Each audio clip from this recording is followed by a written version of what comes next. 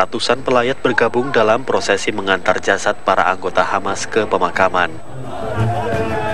Para pelayat menganggap para korban serangan Israel tersebut sebagai martir. Kelompok Hamas menyatakan enam anggotanya tersebut gugur dalam serangan udara Israel di kota Rafah yang berbatasan dengan Mesir. Serangan tersebut juga membuat seorang pejuang lainnya terluka parah.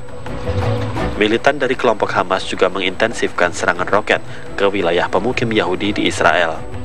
Serangan meningkat setelah Perdana Menteri Israel Benjamin Netanyahu menyatakan perlawanan lebih keras pada kelompok Hamas yang dominan di jalur Gaza.